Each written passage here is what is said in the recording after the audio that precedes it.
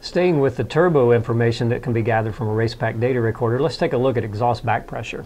Well, as many of the turbo guys know, the turbo system is kind of a balance between pressures. So uh, with the exhaust back pressure sensor, we're able to monitor the back pressure in the system, and obviously you want that to be uh, as low as possible. Right, and again, with the other sensors we've discussed, you can add multiple back pressure sensors, right? Absolutely, yep.